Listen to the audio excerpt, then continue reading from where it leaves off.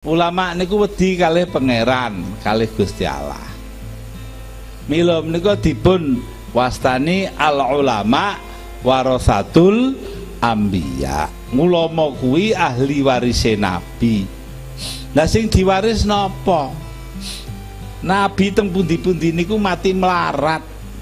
Ora eneng nabi mati sugih ora eneng nalika kanjeng Nabi Muhammad sallallahu alaihi wasallam kepundhut teng daleme niku kejaba rasukane sing wonten niku babut bodol niku lho. Gelem po wong-wong diwarisi badut babut bodol. Mboten.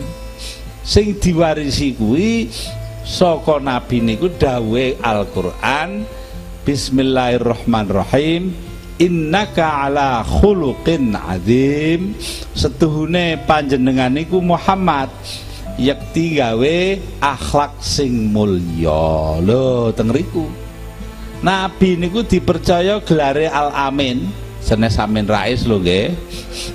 Niku Al Amin niku mergi dipercaya wong.